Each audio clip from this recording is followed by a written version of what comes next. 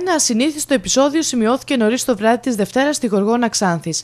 Ένας 17χρονο μετά από καυγά με δύο ανήλικους επίσης συγχωριανούς του, τους μαχαίρωσε και στη συνέχεια αποπειράθηκε να αυτοκτονήσει κόβοντας τις φλέβες του.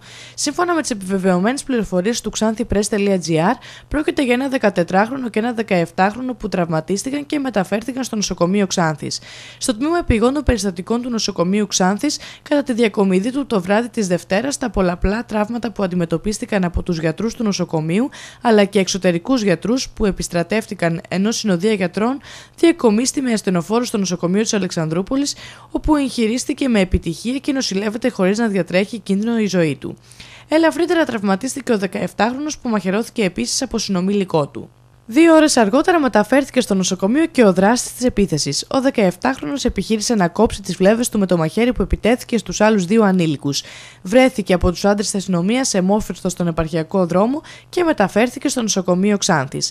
Νοσηλεύεται εκτός κινδύνου και φρουρούμενος διαφορετική κλινική από τον συγχωριανό του, καθώς το περιστατικό έχει προκαλέσει αναστάτωση μεταξύ των συγγενών.